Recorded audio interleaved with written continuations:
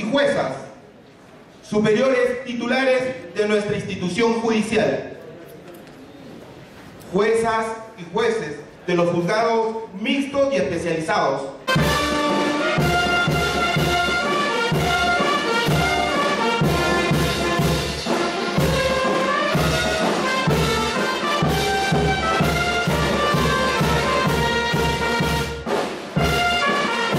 Sí, seguir trabajando, seguir trabajando como lo hemos hecho este año.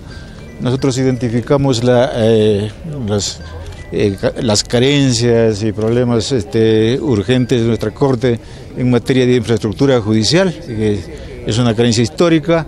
Y el otro tema es de, la, de, la, estima social que tenemos que reconocer es baja de nuestra Corte y este, redoblar esfuerzos para, para afrontar y resolver de la mejor manera estas dos cosas básicamente eh, estos dos puntos, infraestructura y más confianza del pueblo. así es, efectivamente, así es.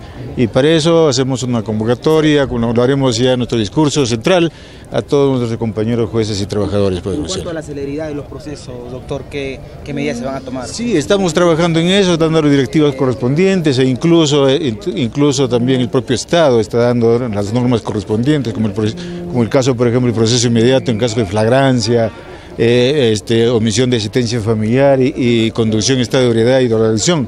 En eh, el, caso también de violencia contra la mujer y el entorno familiar, que son, son mecanismos eh, procesales que el Estado viene dando y que nosotros estamos implementando de la mejor manera. ¿Qué mensaje darle a sus jueces?